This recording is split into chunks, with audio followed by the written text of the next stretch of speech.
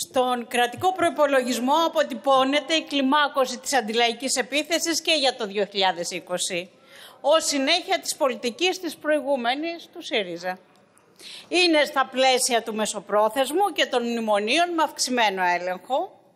Ουσιαστικά συμφωνείτε σε αυτή τη στρατηγική σύγκληση όλα τα αστικά κόμματα παρά τις λεκτικές και ανούσιες διαφορές σας.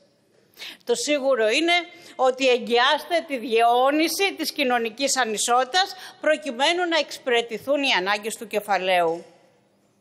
Τα ίδια ήταν και με τον περσινό προϋπολογισμό, με άλλη κυβέρνηση. Μπορεί ο προβλεπόμενος ρυθμός ανάπτυξης να εκτιμάται στο 2,8%, ωστόσο υποβαθμίζεται τους αστάθμιτους υπαρκτούς παράγοντες εδώ στην πόρτα μας. Η βιομηχανική παραγωγή συγχρονισμένα εμφανίζει πτώση σε Γερμανία, Ιταλία, Ισπανία και σε επίπεδο Ευρωπαϊκής Ένωσης. Υπάρχει το Brexit. Η αυξημένη πιθανότητα κρίσης στη διεθνή οικονομία. Οι ελληνοτουρκικές σχέσεις είναι μπροστά. Συνεπώς, το διεθνές οικονομικό περιβάλλον είναι επισφαλές. Μην παραπλανάτε εκπτώσει, επιπτώσεις, δυστυχώς, δυστυχώς το λέω, θα υπάρχουν και εδώ. Τουρισμός, μεταφορές, ναυτιλία και άλλα. Ωστόσο, στον προϋπολογισμό 2020 παίρνετε μέτρα για φοροελαμφρύσεις μποναμάδες μόνο για το κεφάλαιο και γι' αυτό ακριβώς είναι ταξικός και αντιλαϊκός. Δεν είναι μόνο τα έσοδα 93% των φόρων προέρχονται από φορολεηλασία λαϊκών στρωμάτων και προκλητικά μόνο το 7% από αυτούς που συγκεντρώνουν τον πλούτο στα χέρια τους. Αλλά και στα έξοδα. Τα καταναλώνεται για τις ανάγκες του κεφαλαίου και τους νατοικούς εξοπλισμούς για να συγκαλύπτει το ΝΑΤΟ τις επεκτατικές βλέψεις της Τουρκίας και να υπονομεύει κυριαρχικά δικαιώματα της χώρας και του λαού μας. Τις πιεστικές ανάγκες όμως του λαού, τις ανάγκες που έχει ο κάθε άνθρωπος, τις αγνοείτε, τις περιφρονείτε, τις ποδοπατάτε. Γι' αυτό το λόγο δεν μπορεί να υπάρξει στον καπιταλισμό φιλολαϊκός προϋπολογισμός. Καμιά αυταπάτη. Το αποδεικνύουν τα ίδια τα επιμέρους νούμερα που αφορούν ανάγκες του λαού σε υγεία, μόρφωση για τα παιδιά του, κοινωνική ασφάλιση, άθληση, πολιτισμό, υποδομές, ακόμα και σε ψυχαγωγία και ξεκούραση αρπάξατε την περίοδο της κρίσης εισοδήματα και δικαιώματα και το μέλλον της νέας γενιάς. Τι δίνετε, τι επιστρέφετε τώρα στην ανάπτυξή σας; Τίποτα. Είναι δώρα στο κεφάλαιο για να έχει φτηνούς εργαζόμενους, δηλαδή μειωμένο εργατικό κόστος. Η επιβίωση στο βάρβαρο σύστημά σας έχει μετατραπεί σε καθημερινό μαρτύριο Εξαναγκάζεται τον καθένα να ψάχνει ακόμα και δεύτερη δουλειά πιο κακοπληρωμένη, ανασφάλιστη, χωρίς δικαιώματα, να δουλεύει σαν ήλωτας, να παράγει υπεραξία για τους μεγαλοεπιχειρηματίες, για να έχει ο ίδιος μια χαμοζωή. Εξάλλου, Ό,τι νομοθετήματα περάσατε ήταν σε αντιδραστική και αντιλαϊκή κατεύθυνση, με fast track διαδικασίες τις περισσότερες φορές υπέρ του κεφαλαίου και ενάντια των λαϊκών στρωμάτων. Καταχρεώθηκαν μισθωτοί, μικρομεσαίοι αγρότες, αυταπασχολούμενοι και τώρα με την ανάπτυξή σας. Τι κάνετε, στηρίζετε τις τράπεζες με νόμο να μεταφέρουν τα κόκκινα δάνεια στα κοράκια, προδιαγράφοντας ένταση της επίθεσης σε βάρος της λαϊκής περιουσίας και κατοικίας. Βεβαίως, στο όνομα της εξυγίασης του τραπεζικού συστήματος και της χρηματοδότησης των επιχειρηματικών ομίλων εξασφαλίσατε ένα κρατικό πακέτο 12 δισεκατομμυρίων ευρώ. Έτσι στηρίζετε τις τράπεζες από τη μια, ενώ από την άλλη θα εντείνονται εκβιασμοί και ηλεκτρονικοί πληστηριασμοί για τη λαϊκή κατοικία. Και βέβαια, Έχει ποινικοποιηθεί διαμαρτυρία στους πληστηριασμούς από την εποχή του ΣΥΡΙΖΑ. Την ίδια ώρα, χιλιάδες οι απολύσεις τραπεζοϊπαλλήλων και νέα φορολογικά βάρη στο λαό, ολοκληρώνοντας παλιότερες μεταρρυθμίσεις της κυβέρνησης ΣΥΡΙΖΑ. Το ένα χέρι νύβει τ' άλλο και τα δύο το κεφάλαιο. Εκεί που σταματά ο ένας, αρχίζει ο άλλος. Μάλιστα για να θολώσετε, να συγκαλύψετε την ταξικότητα των αντιλαϊκών σκληρών μέτρων, παρουσιάζεται ως κοινωνική πολιτική την κοροϊδία του κοινωνικού μερίσματος για τους πιο εξαθλειωμένους. Από τα ματωμένα όμως πλεονάσματα. Κρύβεται ότι αυτά είναι τα πλεονάσματα της αντιλαϊκής επίθεσης πάνω και από τους στόχους που έβαλαν οι προηγούμενοι κατά 3,5% και εσείς συνεχίζετε Βέβαια, την ίδια ώρα νέα μείωση των συντάξεων αποτυπώνει ο κοινωνικός προϋπολογισμός, επιβεβαιώνοντας μείωση εισοδήματος των συνταξιούχων. Γιατί δεν επαναφέρετε το ΕΚΑΣ στους χαμηλοσυνταξιούχους, τη 13η σύνταξη, γιατί δεν καταργείτε τον νόμο Κατρούγκαλου; Μα γιατί την ίδια στρατηγική, στρατηγική έχετε με μικρό παραλλαγές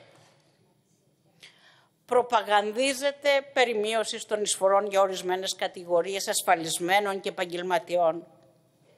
Στην ουσία κρύβεται την παραπέρα ιδιωτικοποίηση της ασφάλισης, το παραπέρας σάρωμα του κοινωνικού χαρακτήρα της που οδηγεί σε συντάξεις πείνας και δουλειά έως τον τάφο για να κερδίσει ο έμπορας της κοινωνικής ασφάλισης, δηλαδή από τα λεφτά των ασφαλισμένων με την ιδιωτικοποίηση της επικουρικής.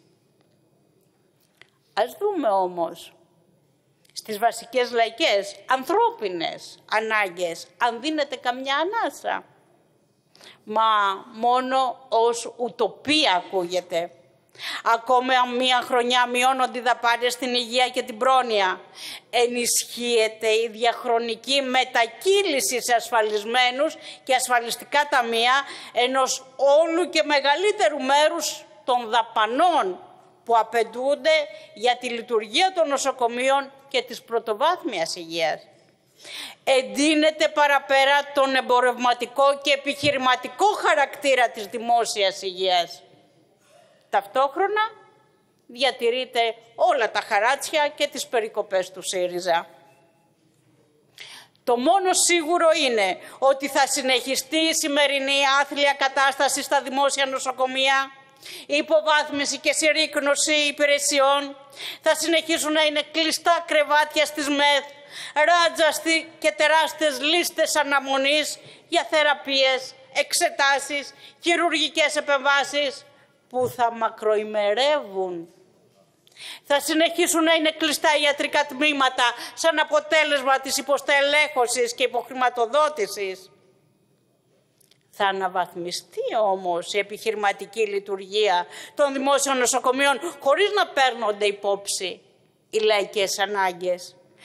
Φτάνετε στο σημείο να μειώνετε κατά 48% ακόμα και τις κοινωνικές παροχές. Δηλαδή μειώνονται επιδόματα ανασφάλιστων υπερήλικων, αναπηρικά επιδόματα.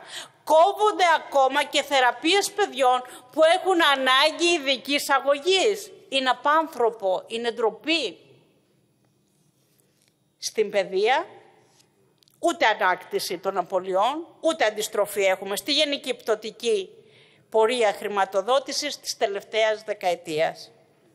Τα λειτουργικά έξοδα συντήρησης σχολικών μονάδων σταθερά υποχρηματοδοτούμενα τα τελευταία δέκα χρόνια αφού οι δαπάνες αυτή την περίοδο κόπηκαν κατά 70%.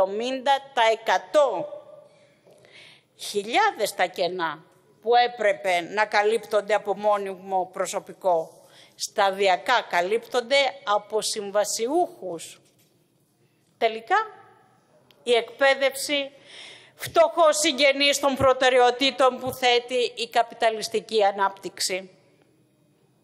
Αλλά και η υλοποίηση της δίχρονης υποχρεωτικής προσχολικής αγωγής στον ίδιο βηματισμό με την προηγούμενη κυβέρνηση ΣΥΡΙΖΑ Ακατάλληλες σχολικές αίθουσες, ενώ το 50% των σχολικών κτηριών είναι χτισμένα 50 χρόνια πριν, χωρίς αντισυσμικό κανονισμό. Οι ανάγκες στην ειδική εκπαίδευση διαχρονικές και ελλείψεις σημαντικές στα ειδικά σχολεία. Τελικά, έτσι τσακίζονται και τα μορφωτικά δικαιώματα των χιλιάδων μαθητών, αφού δεν περισσεύει το παραμικρό, για στοιχειώδεις βασικές ανάγκες που σχετίζονται με τη ζωή και την ασφαλειά τους. Μειώνεται όμως τη φορολογία των επιχειρήσεων.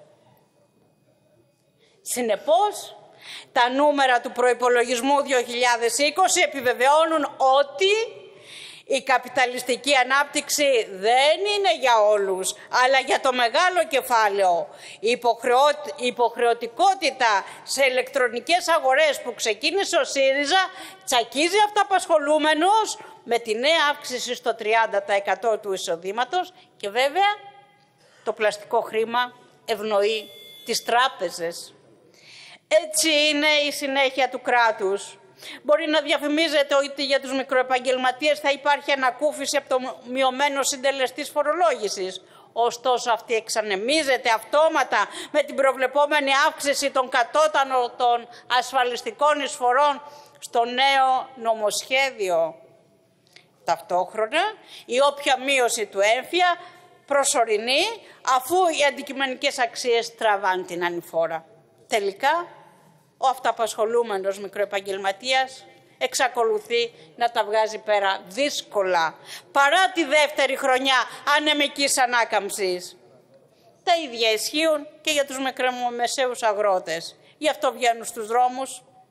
Από τον ειδικό φόρο κατανάλωση στο πετρέλαιο και σε άλλα καύσιμα απαλλάσσονται εφοπλιστές, αεροπορικές εταιρείες, διάφορες βιομηχανίες, ωστόσο καμιά έκπτωση, ούτε ένα ευρώ για την αγροτιά.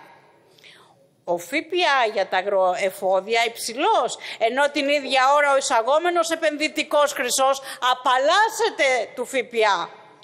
Και από πάνω φορολογείται ακόμα και τη βασική ενίσχυση των αγροτών.